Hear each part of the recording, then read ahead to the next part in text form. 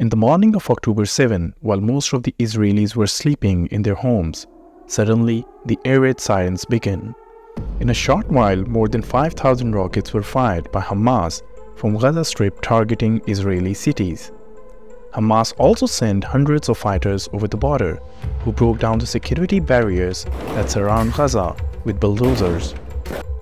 The surprise was not over yet for Israel as hundreds of fighters even flew over on motorized paragliders and landed in the Israel-occupied areas for settlers.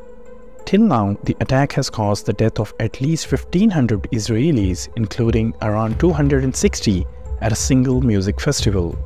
Hamas also says that it has captured more than 100 Israelis, including some senior military officers, while Israel says that several children and elderly women were also taken by Hamas militants.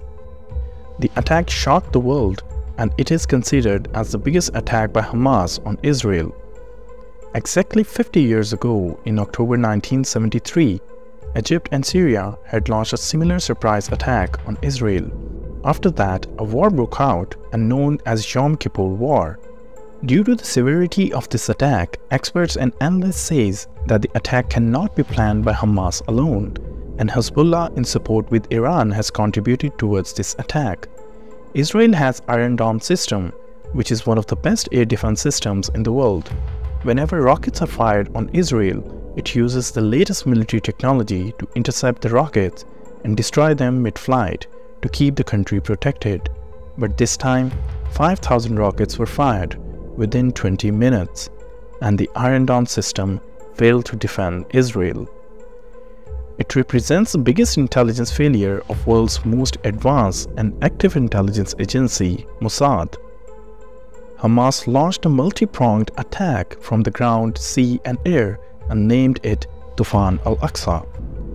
The boundary wall on the Israel-Gaza border was broken down by bulldozers and many civilian and Hamas fighters entered in Israeli territory. אזרחי ישראל, אנחנו במלחמה. לא במבצע, לא בסבבים, במלחמה. In response to this attack, Israel has declared a state of war and has started Operation Iron Sword and vowed an unprecedented response that it plans to wipe out Hamas military capability and end its control on Gaza. Since then, Israel has been hitting hard with airstrikes and artillery. Footages coming from Palestine shows devastation and bodies being pulled out from the rubble with more than 1100 innocents being killed, including civilians. Israel is violating all the principles of humanity, bombarding civilian areas, destroyed four mosques, imposed a total siege on Gaza Strip, disconnected electricity and water connections to the area, and have even called 300,000 reserve army as a collective punishment for all the peoples of Palestine. The actions of Israel represents violation of international laws, which has already been objected by United Nations. Let's take a look at the map to understand the context of this situation. Israel and Palestine are located in the Middle East. In the north is the country of Lebanon. In the northeast there is Syria.